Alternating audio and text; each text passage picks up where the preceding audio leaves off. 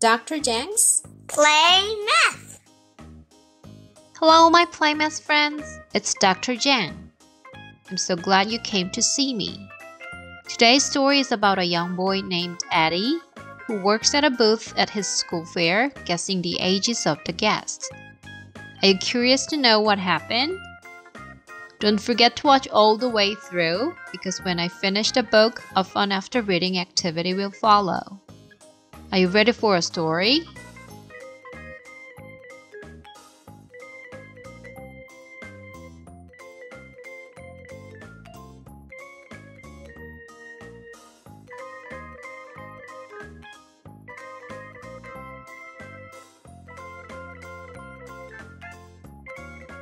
More or Less by Stuart J. Murphy.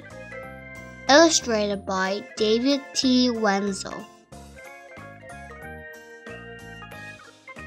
Mr. Shaw had been the principal of Bayside School for so many years, and most people couldn't even remember how long it had been. But now he was retiring. All the students and teachers, most of the parents, Mr. Shaw's family, and the people from the neighborhood had gathered in the schoolyard for a big picnic in his honor. All around the playground, there were booths with games to play. Let's Eddie Guess Your Age was one of the most popular booths. If Eddie could guess a person's age after three questions or less, he won.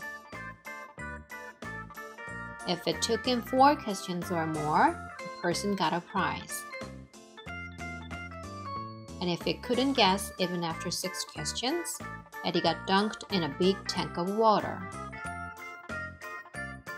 Eddie was good and lucky. He hadn't gotten dunked yet. Clara, one of Eddie's classmates, came along.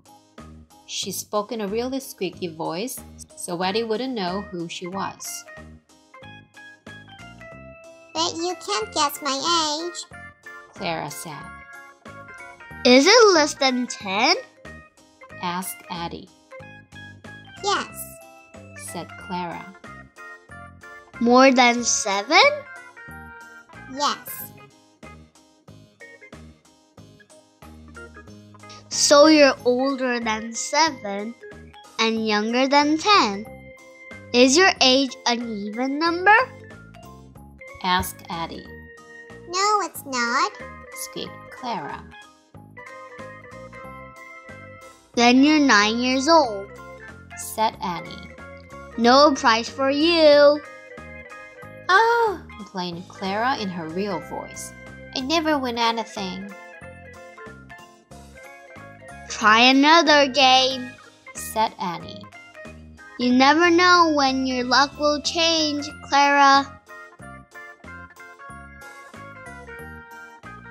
One of the parents came over to Addie's booth.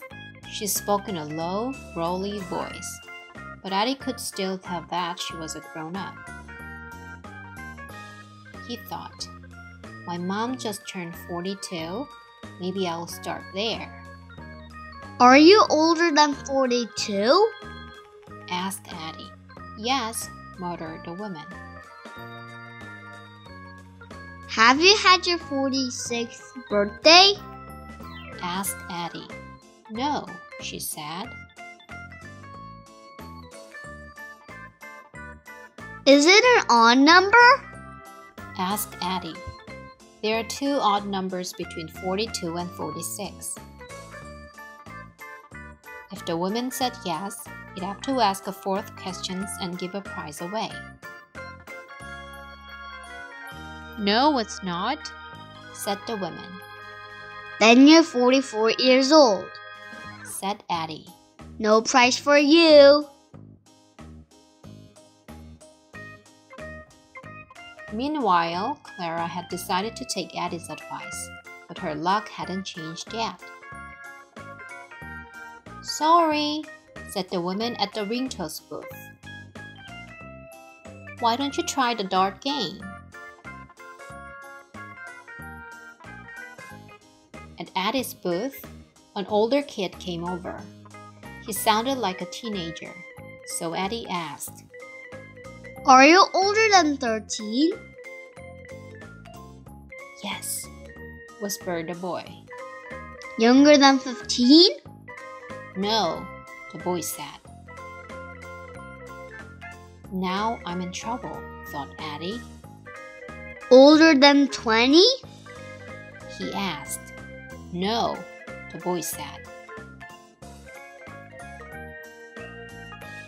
Between 15 and 20 narrows it down, thought Eddie. Are you 18? He asked. Nope, the boy said. Are you 17? You finally got it, he said. But it took you five questions, Pick a prize. said Eddie. Ah, too bad, said the boy. I wanted to see you get dumped. At the booth next door, Clara was still doing her best to win a prize. Clara, I don't think this game is for you, said the teacher at the dart game. Look, isn't that your grandfather over there? Clara looked up. She grinned and went off to Eddie's booth. The next voice at Eddie's booth sounded really old. Are you older than 50? asked Eddie. Yes, said the man. Younger than 55? asked Eddie. No, said the man. Between 55 and 60? No, Younger than 62? no. All Eddie knew was that this person was at least 62 years old. Are you younger than 68? Eddie asked. No, said the man. Eddie had just one question left before he'd get dumped. Are you 69? He asked. No, said the voice.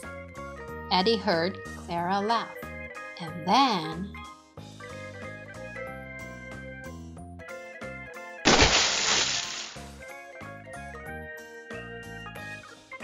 Eddie untied his blindfold as he climbed out of the tub.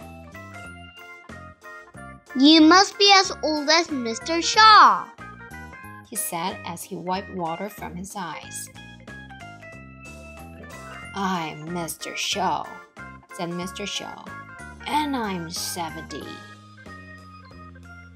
Mr. Shaw picked the biggest prize in the entire booth.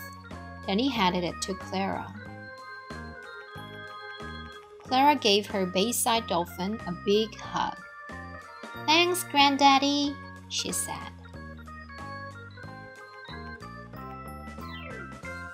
The end. Let's do a fun activity. To do this activity, you'll need just paper and pencil. You'll have a secret number, and your kids will guess the secret number using the clues that you give them. For example, you'll say, This number is more than 5, but less than 10. It is an odd number. Kids will then write the different possible answers. You'll then read another clue, and they will cross out the number from their answers that doesn't apply until they find the secret number. You can give a clue like it's more than 8. Start from single digit numbers, and once kids get used to it, move to two digit numbers. You can also change roles. Kids will think of number and give clues that will help you guess it. Thank you for watching Play Math. To read more math picture books and do after reading activities, subscribe to this channel. See you next time!